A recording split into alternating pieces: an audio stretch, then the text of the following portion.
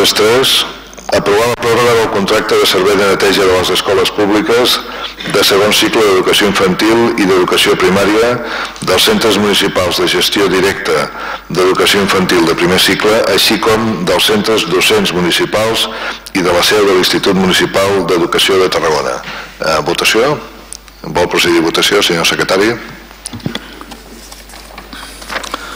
Grup Municipal d'Unió Democràtica de Catalunya. Sí. Grup Municipal d'Iniciativa Esquerra Unida. Sí. Grup Municipal de la Candidatura d'Unitat Popular. No. Grup Municipal de Convergència i Unió. Sí. Grup Municipal del Partit Popular. Sí. Grup Municipal d'Esquerra Republicana de Catalunya. Abstenció.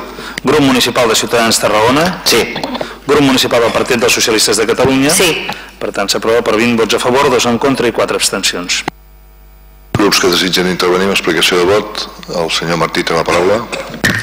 Sí, tal com hem explicat abans, i per això suposo que ens confonen els, els noms, eh, la, la, en aquest cas la mostra és absolutament per la muni- municipalització, per les dues bandes, tant per la banda precisament que fa l'IMET, és a dir, que, que evidentment eh, és una entitat municipal, com també eh, el que fa eh, la gent que aquí a Tarragona s'encarrega de netejar la via pública, que pensem que un cop estiguin municipalitzats també hauríem d'incloure dintre del mateix contracte, aquest contracte de la brossa que un dia canviarà, la neteja de totes les seus, en aquest cas, eh, municipals.